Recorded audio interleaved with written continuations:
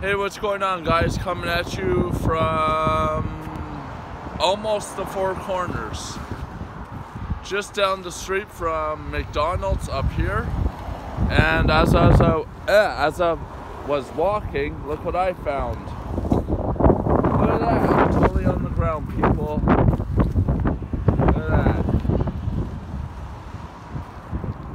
Sudbury, come on, people. Like, what the hell are you doing? This is disgusting. That's fucking disgusting.